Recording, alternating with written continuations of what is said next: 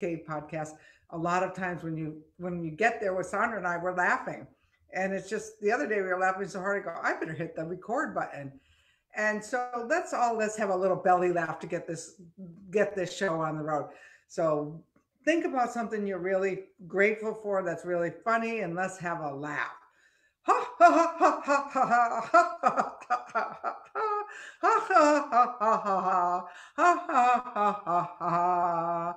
Oh, the winds get so excited when we laugh and have fun. You know, we really, many years ago, somebody told me that the word enlighten means to enlighten, to enlighten up.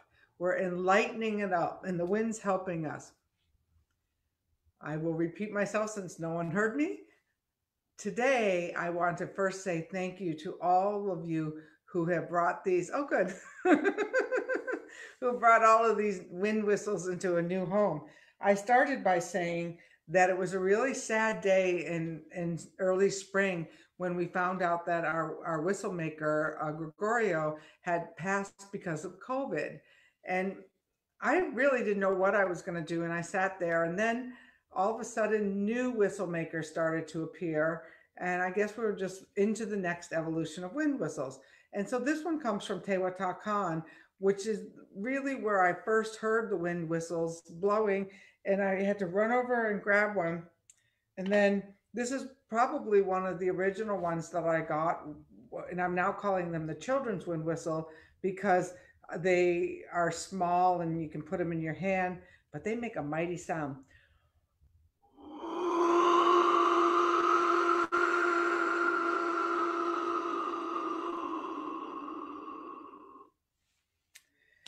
And then and then along came and thank you to Jan.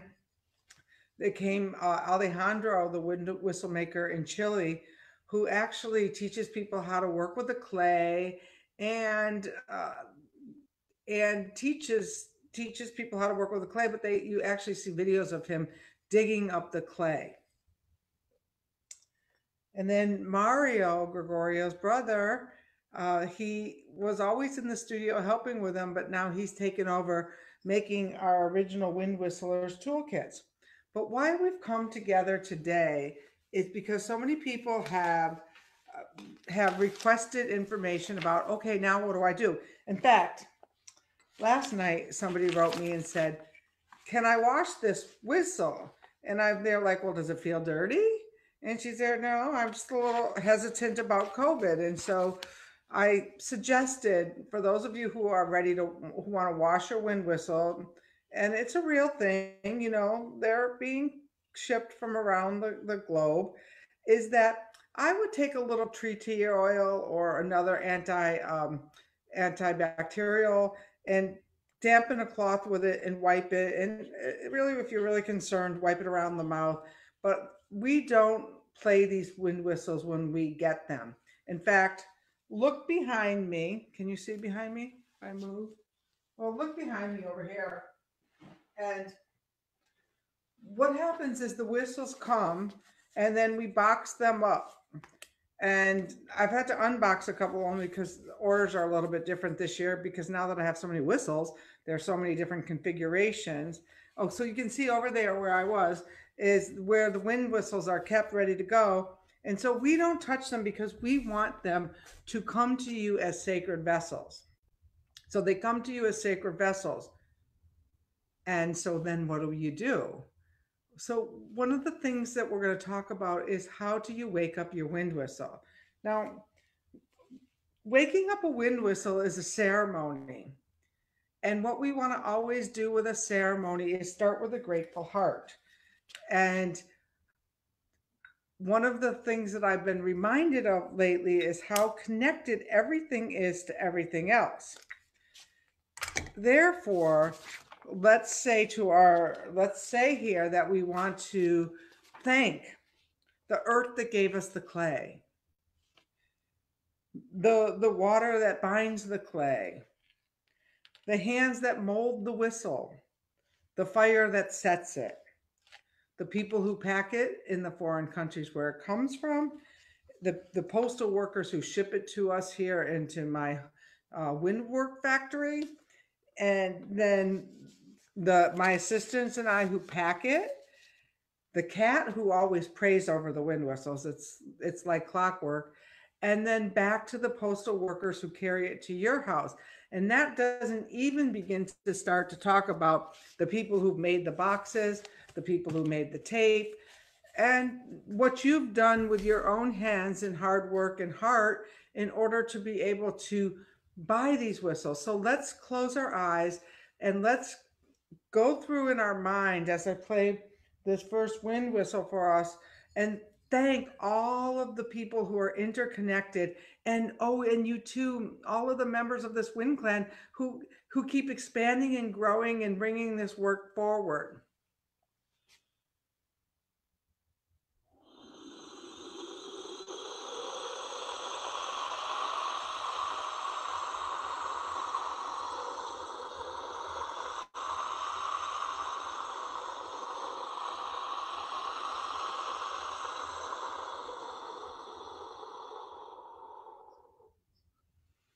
And remember, we are all connected through the wind.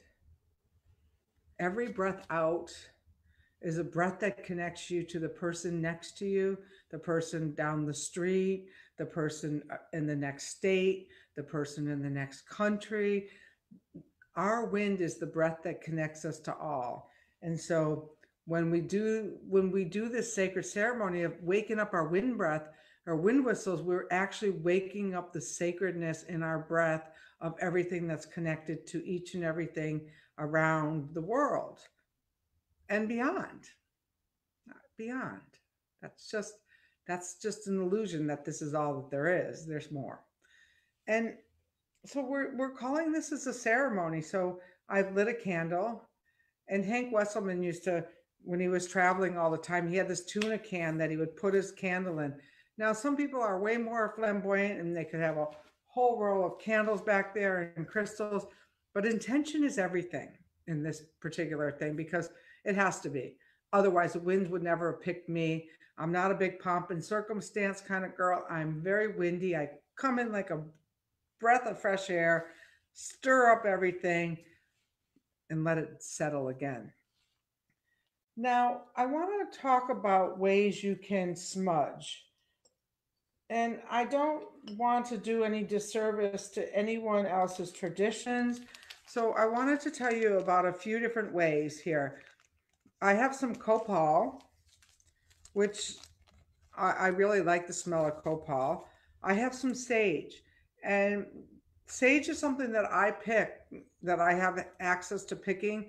I go up, I sprinkle water, I do it with reverence, I thank the plant, and it's in my backyard right in the, where I where the desert floor meets the mountain, and so I get to I get to have this relationship with sage.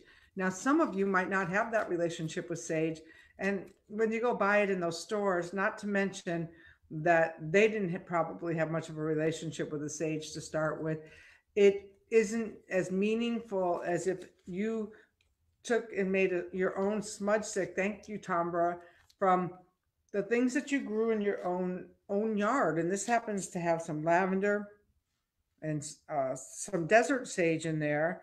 And so it's it's more important that you use the ingredients. You can actually use tobacco if that's something that's more local to you to to do Olympia to clean. And so what we're going to do first is we've lit our candle and I'm going to use sage because that's what I have a relationship with after 10 years of, of carrying the blankets and carrying the water and carrying the grandfathers into the lodge, I have a relationship with the sage. And so what we want to do is we want to we want to light our sage and with a grateful heart. Remember, we're connecting this to everything. So if you're in a bad mood, you're in a mad mood, whatever, maybe that's not the day to wake up your wind whistle. So I went around and saged everything before we got here. But why don't you take a little bit of sage now and and put some into your heart? You know, feel it coming into your heart and into your home. Can you feel that? Okay. And then we're going to wake up a whistle. And the whistle I'm going to wake up is the Mario whistle. That's what I'm calling this one. And these are the new whistles in our Wind Whistler toolkits.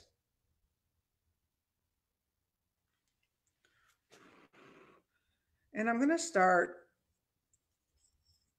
I'm going to start by saging it. Again, remember, this is your ritual. You can do it however you want.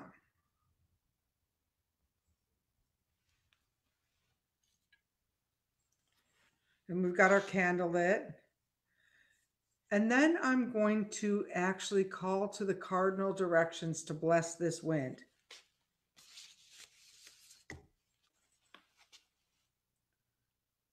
And oh, for those of you who are just learning how to use your wind whistle, now there's the place where you blow. And then on the bottom of the wind whistle is there's the place where the air comes out. And so I use my hand to regulate how I let the flow of that air go. And so that's why you might see me sometimes moving my hand, moving it a little bit. And then you bring this up to your mouth. And for those of you who wanted to clean it, you could. And then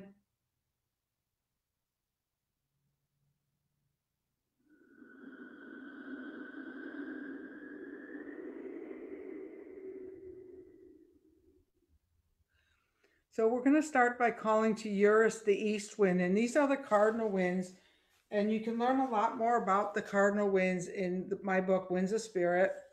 And if you got a wind whistle and you didn't get a book yet, this might be a great time to get one.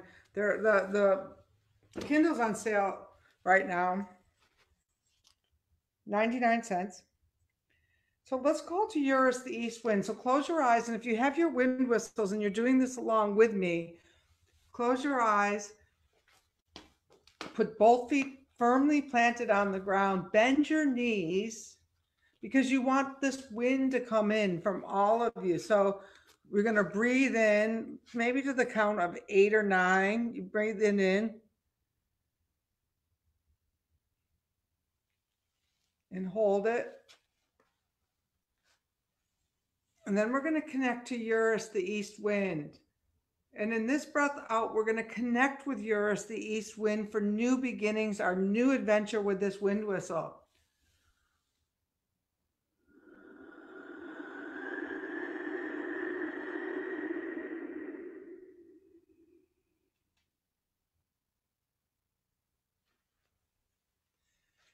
Then we're going to turn and face to the south. And for, for those of you who have a lot of wind, you could do that three times if you want.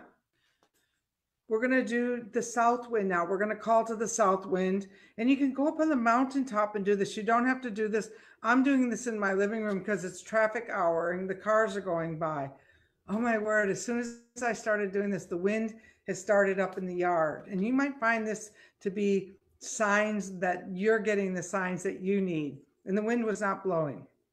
So now we're going to call to Notus the south wind that this instrument, this vessel of clay that came to us from the earth and the water and hands that lovingly formed it, the fire that set it, the people who packed it, the postal workers who shipped it, that this wind whistle, this vessel is going to give us the emotional support we need to get through these these coming days where the, the winds of change are blowing.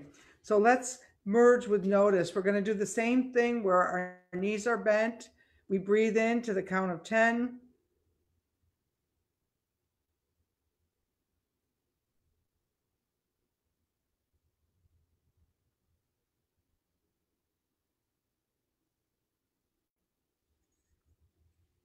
And breathe out.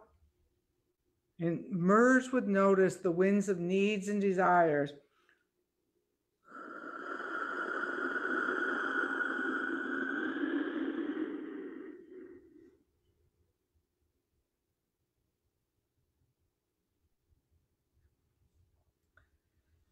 And then we're going to turn to the west. And we're going to call upon Zephyrus, that west wind that's going to show us how we walk this road, how we walk this path with our wind, how we walk with this this whistle because we're going to be walking with the wind. So we want to be guided from the west wind to teach us how to do this. Breathe in.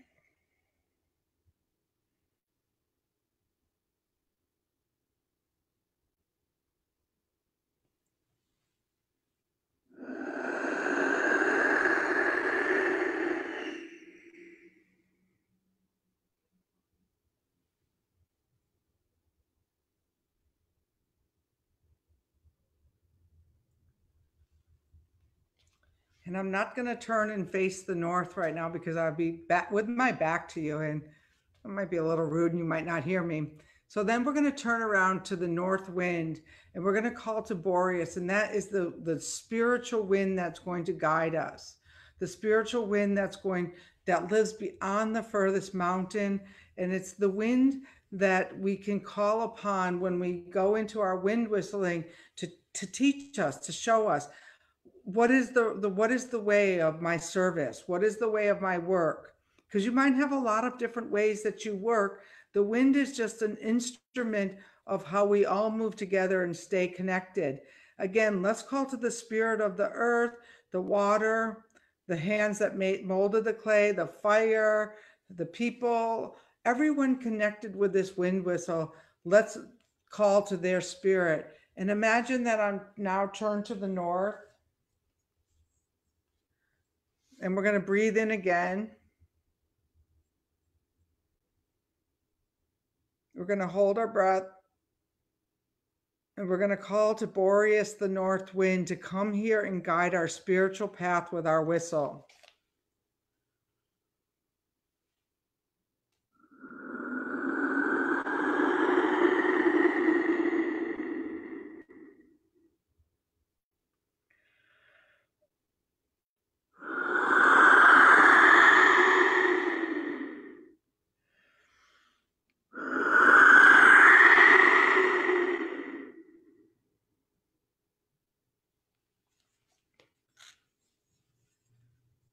And then check in with your body and see if you're not feeling a little bit more centered, a little bit more grounded. And then this whistle, it's a it's a a tool for stability. It's a tool for a tool for navigating the the changing winds around us. And then what I was requested to do for this opening was to show you how then you called into a wind to help you. I noticed on the spinning wheel of, of people always go to the quality of the wind instead of the wind spirit themselves. And the wind spirits want to come here and help you in your life navigate this crazy, you know, predicament that we find ourselves in as human beings. Wow. I could cry.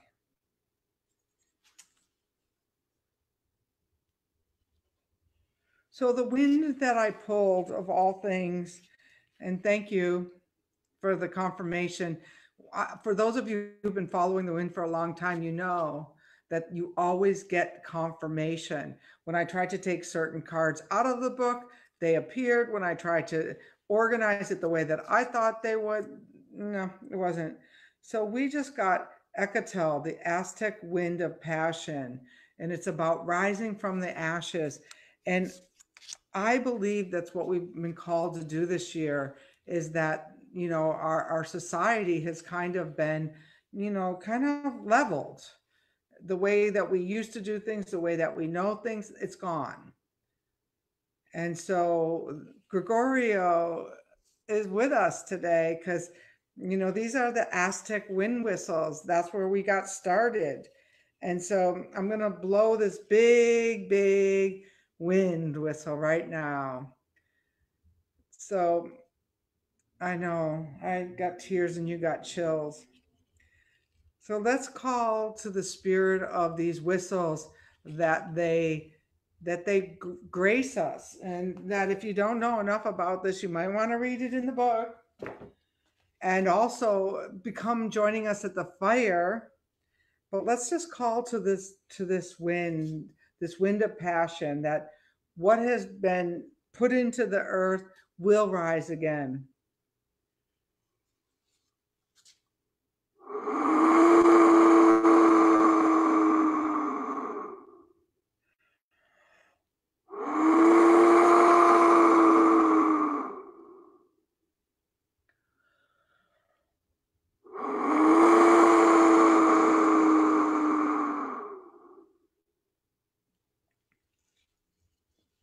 Um,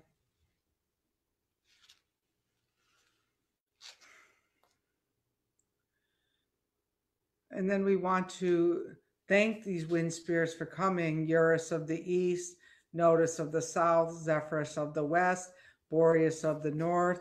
And why don't we work with Ehecatl a little bit while longer, um, maybe until we'll pull another wind right at the winter solstice time because all of those people who held the fire last year, the fire tenders, will know and probably remember that Hulde came and she took us on a wild ride. And so maybe our passion's going to rise here. And the as I promised at the beginning, that if you stayed, for some of you who don't have wind whistles yet, or you want to give one for the holiday, I am going to offer an unbelievable sale on our new our new wind whistler toolkits. And I will put the code down here in the Zoom. So if you're watching and you watch it later you'll see it. But the code is going to be the wind whistle club. So that you are part of the wind whistlers and you're going to get the Wind Whistler Club discount. And this will be the lowest price on this new wind whistle all year long. It's going to be $75. It's going to include the wind whistle, the cards. Not any of the other whistles are still on sale that ends soon, but this is going to be a special price for everyone who's ready to wake up the wind in their life. And speaking of which, we want you to tend to the fire with us at iamsymposium.com. And for those of you who are finding that, wow, this is really speaking to me, this is really resonating with me, we are doing a 10 month teachers training apprenticeship next year. And Bridget's interviewing candidates now. And she may interview them all because I've been really busy and I just keep, could you do the next five? Could you do the next five? Thank you, Bridget, for being here. Love you. And in the the fire tenders, we have uh, Bridget, we have uh, Carrie Wanamaker, who's also going to be doing a soul collage right at the new year, which I'm going to do instead of a vision board this year. And then we have Heather Lee Huff, who's uh, hobbling around right now, just got some knee surgery, but she's going to be, they're all going to be holding space for us as we tend the fire. In all the years past, it's been about the the teachers who were were sharing like the you know the big names but this year it's going to be all about the fire tenders because the winds have told me that we need our lights to shine even brighter this december because things could get a little up up ended if you don't think they've already upended bridget's laughing. Yeah ha ha ha. We need to share our light so that the wind knows where all of us are. So join us at the I Am Symposium. And on that note, I'm going to play the Mario one more time for you.